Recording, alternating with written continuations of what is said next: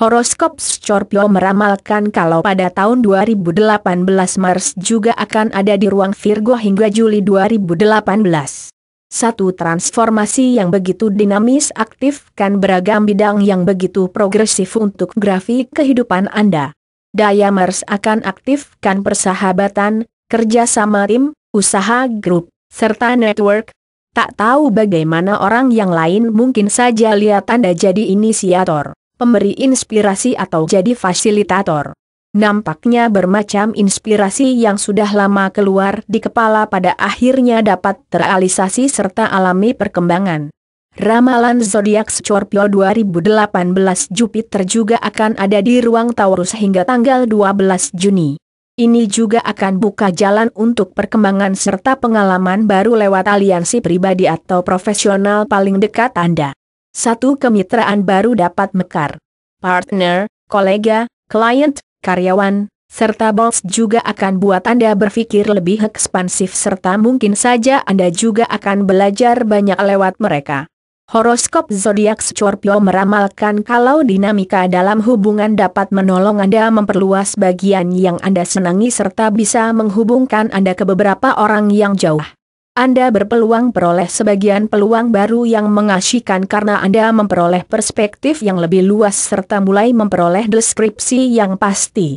Dampak baik daya Jupiter juga akan mendorong Anda untuk mengerti hal baru, membawa Anda dalam skenario baru yang akan memperluas pengalaman Anda. Setelah itu dari tanggal 12 Juni, tempat Jupiter juga akan berada di ruang zodiak di Gemini. Ini berikan hal positif untuk Scorpio, terlebih untuk masalah keuangan.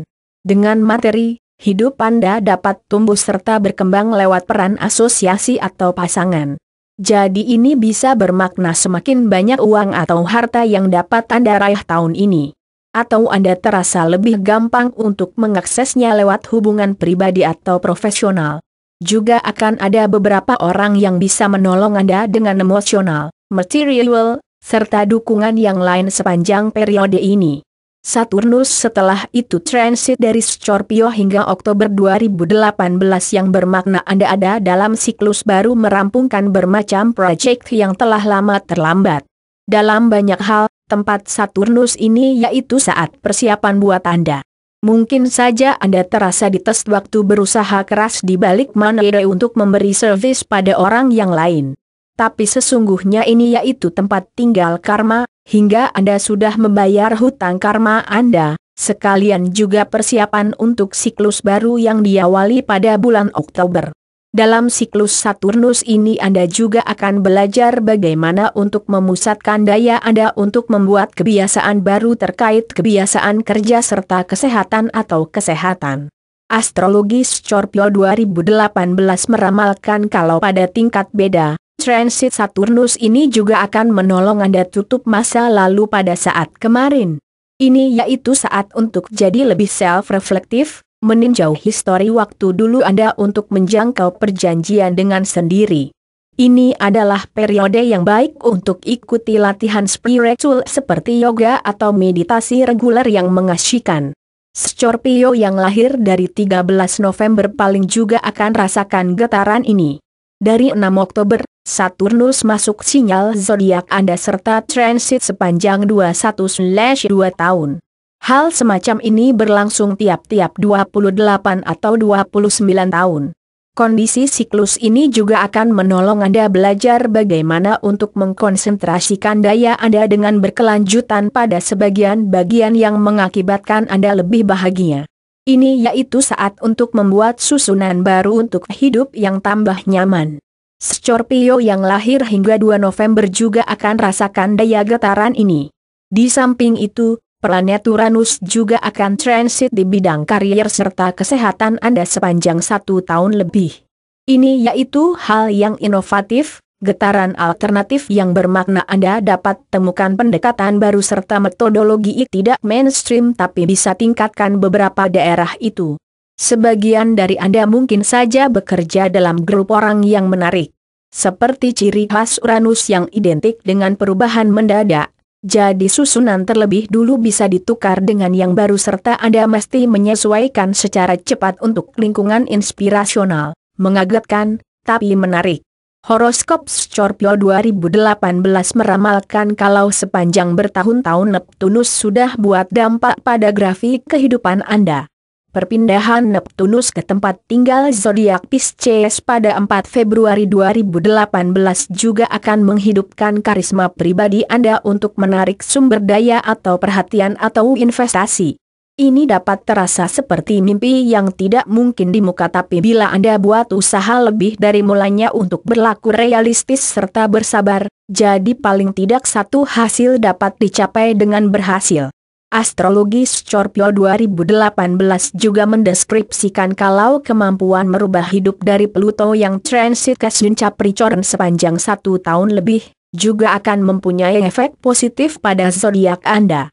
Dengan adanya ini Anda dapat belajar untuk kuasai BHS, contoh BHS pemrograman HTML, membaca grafik navigasi, atau menafsirkan proyeksi psikis.